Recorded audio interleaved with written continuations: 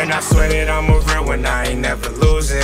And now I'm so caught they spin, but they don't never do shit. I'm in these streets, this shit is real, man, I ain't picking choosing. I gotta get rich before I down, focused on the music. Man, I swear that I'm a real one, I ain't never losing. And now I'm so caught they spin, but they don't never do shit. I'm in these streets, this shit is real, man, I ain't picking choosing. I gotta get rich before I down. Alright, we're back again with another vlog. And same position, we're right underneath my gym. And that right there is Suraj Rayaprolu's gym, Pulsate. One of the best gyms in my area. Uh, you've got amazing crowd and also amazing fucking price point for the gym.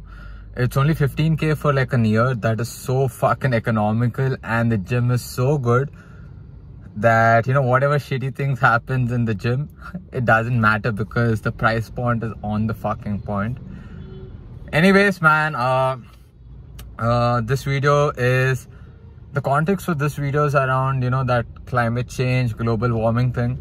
So you know diwali literally just happened two days ago and you could see you could see this social media activists put up stories saying that climate change this climate change that.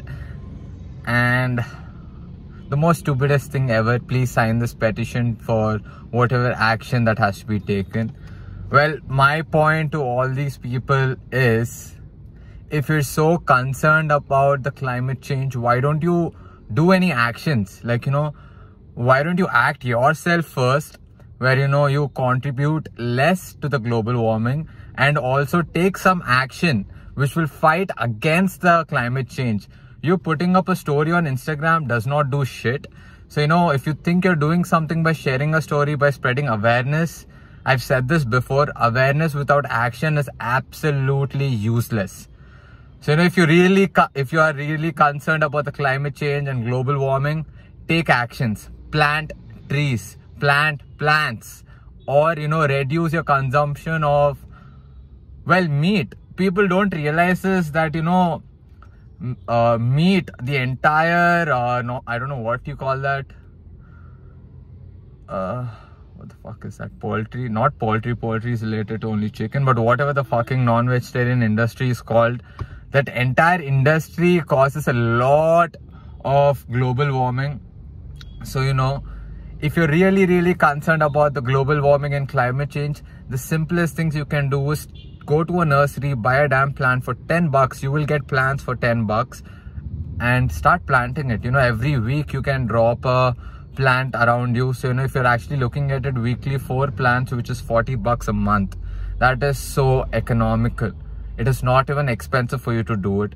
And another step is, see, this is what I'm saying. I'm not asking you to stop eating non-veg. If you're eating non-veg, maybe five times a week or seven times a week, cut it down you know maybe four times a week or three times a week you're not cutting it down completely but you are reducing your consumption of it which actually which actually impacts the entire chain. So you know one person doing this and spreading the knowledge or information that look i have not stopped consuming but you know i've reduced my consumption. And you know there'll be a domino effect. If 10 people do it the effect is only going to increase. So you know this is my thing to you guys man. If you're actually concerned please take actions.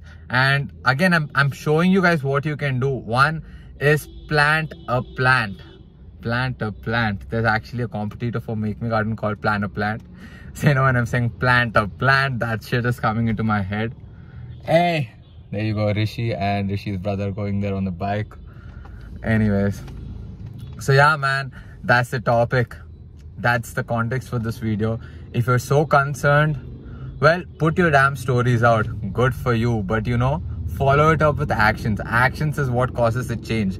Your stories don't cause shit. Uh, yeah, your stories honestly don't cause shit. Awareness, cool, man.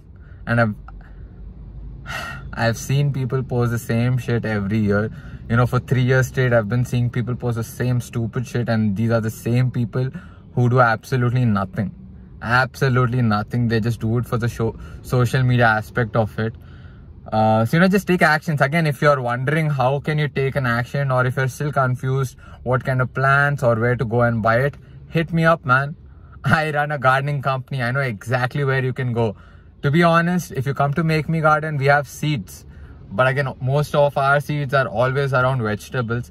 But i do know people who own nurseries. One of them is prakriti pauda which uh, venkatesh and tejo run it. Their own uh, their family runs it so you know i can redirect you to those guys and they actually have a wide variety of plants from indoor plants to decorative plants to outdoor plants. And the setup's are actually dope. So you know if you go there you clearly have options. So yeah, man, that. Take actions, not just speak a lot of shit about it.